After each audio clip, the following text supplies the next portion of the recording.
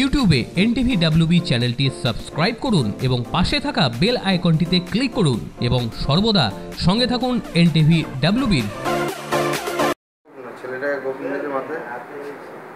সেটা আবার কখন হলো গো কালকে এসছে স্যার এখন নিচ্ছিল দেখছি। একটা একটা করে কম।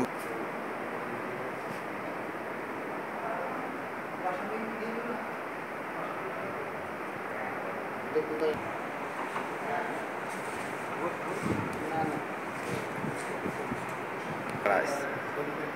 ঘটনা ঘটেছে? ঘটনাটা রমজান দাসপাড়া। জোরে বলেন রমজান দাসপাড়া খেলার মাঠের পিছনে আমার আমরা রাত্রিরে বসছিলাম কয়েকজন আসলো।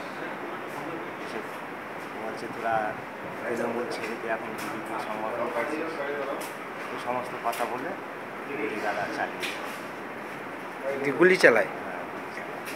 আপনি কি বিজেপি করেন। এরা তৃণমূলের দুষ্কৃতি ছিল? হ্যাঁ।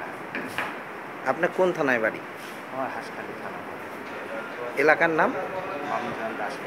মামজোয়ান দশপাড়া আপনার নাম? হ্যাঁ? পিন্টু দাস। পিন্টু দাস।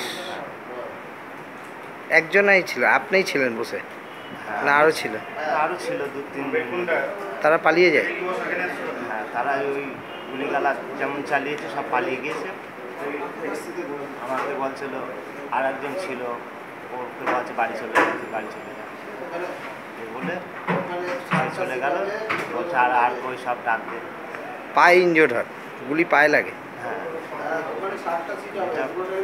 দুটো ওপরে ফায়ার করে আর একটা নিচের দিকে গিয়ে আমার বলবা যে আমরা রান্নাটা যখন বাঁধবো